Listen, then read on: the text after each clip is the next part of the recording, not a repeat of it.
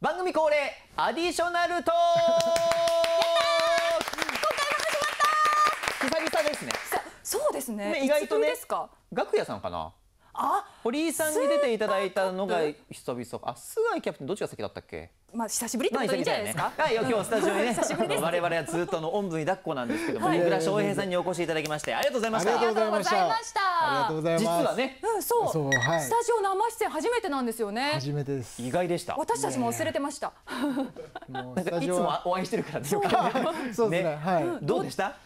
いややっぱ独特の空気感。生放送のこの、はい。緊張しますよ。自分が映ってるっていうのはどうでした？そうなんかこう自分を客観的にあんまり見ることないんで。はい。はいちあの変な汗かきます。本当ですか？やっぱ相変わらず分かりやすくねねえ、そう。解説していただいて。全く緊張してる感はなかったですけど。全く感じませんでした？ますよ。もう出ないタイプで。しょうねきっとねいやで出ます出ます出ます。本当ですか？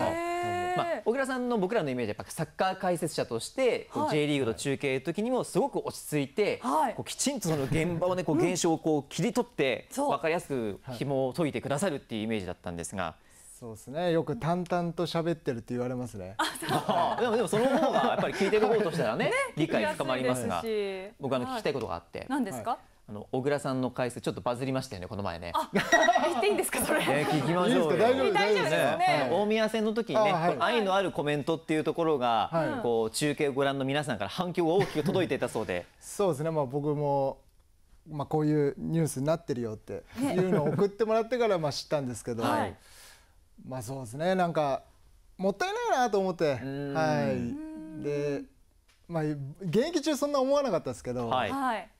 やっぱり俺たちがサッカー選手でいられるのはこのサポーターがあってとかっていうのを今すごい感じるのあでーなるほど。なんかそれをなんか残念がらしちゃダメだよなとは思ってまあ出たというかなるほどはいちょっとなんかすごくいいお話聞いて嬉しいですね。多分今日のこれもバズりますよ。多分 もしかしたらね便乗する上で我々が便乗しようみたいな。明日ネットニュースになってる。ヤフーニュース載ってると思います。まあでもやっぱね その選手目線があって今があるからこそそういう解説につながってるっていうことですよね。そうですねはいなんかすごくやっぱり小倉さんの解説の温かみっていうのをねね。感じた瞬間でもありました。はい、で私座ります。どうぞどうぞはい。行きましょ小倉さん焼けましたよね。あいやいやいやう。なんか急に黒くなりました？もう昨日一日で焼けました。昨日？はい。昨日あのマイクと。ハーフナーバイク選手。あそうです。はい。元選手か。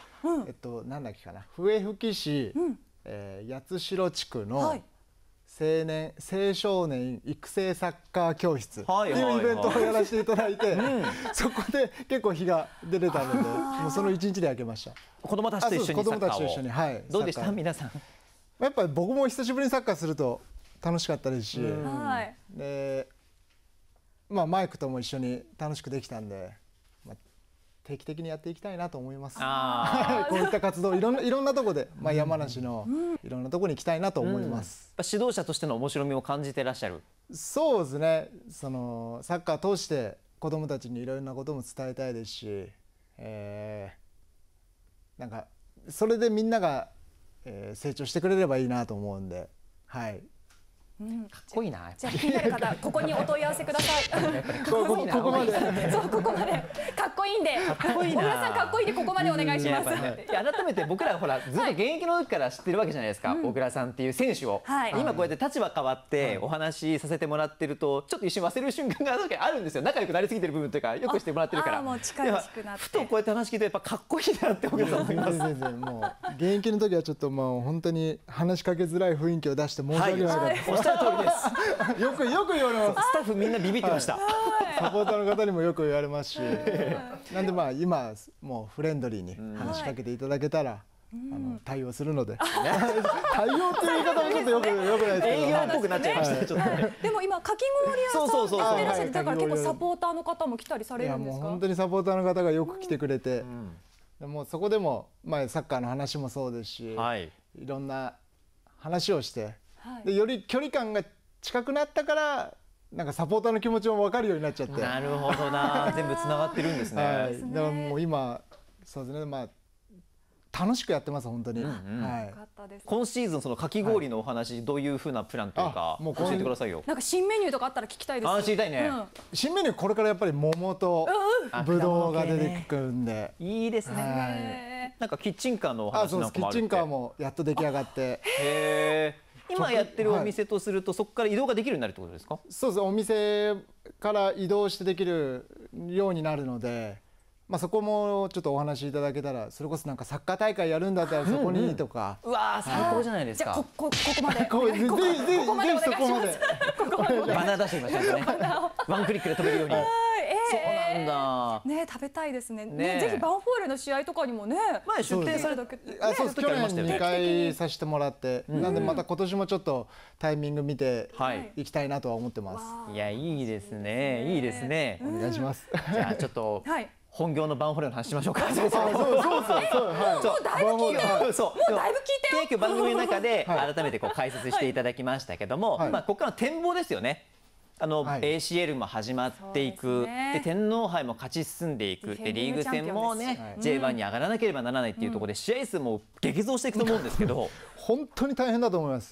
まあ、僕も ACL は、えーマリノスとガンバではい、体験させてもらってるんですけど、うん。本当にこれがアウェーだなって思います。どういう瞬間にですか？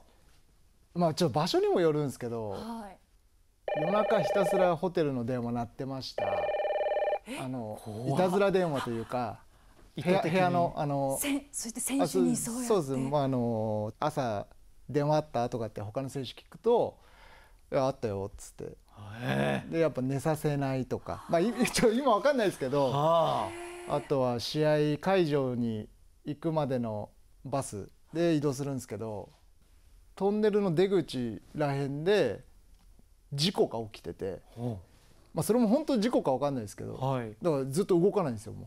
スタジアムの本当ギリギリ間に合うみたいな。じゃあアップとかも。でそういつもの何分前に会場着いてこれをやってるあれをやってって多分選手ルーティンがあるんですけど、時間がないんでできなかったりとか、え大変な洗礼いやが本当に何が起こるかわからないというか。